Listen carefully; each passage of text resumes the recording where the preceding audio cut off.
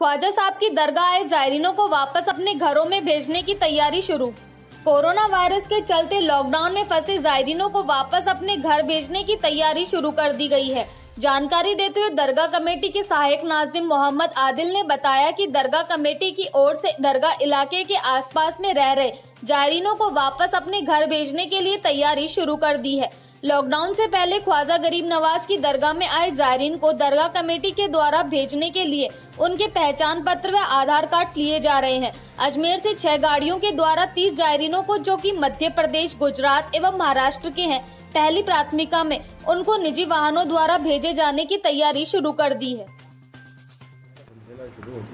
और किस कितने गए हैं आगे क्या रहेगा? फ़िलहाल अजमेर में जो पिछले एक माह से जायद वक्त से, जो ज़ायरीन क़्याम किए हुए थे, ज़िला इंतज़ामिया के ताउन से उन्हें भेजने का पहला सिलसिला शुरू हो चुका है। इस तौर पे तकरीबन छः गाड़ियों से बीस से ज़्यादा जो ज़ायरीन थे, उन्हें अपने घर भेजा गया, जिसमें ख़ास तौर से मध्य प्रदेश, गुजरात और महाराष्ट्र के फैमिलीज़ थी। उनको हमने प्रायोरिटी बेसिस पे किया। वो अपने पर्सनल व्हीकल के ज़रिए यहाँ पहुँच थे।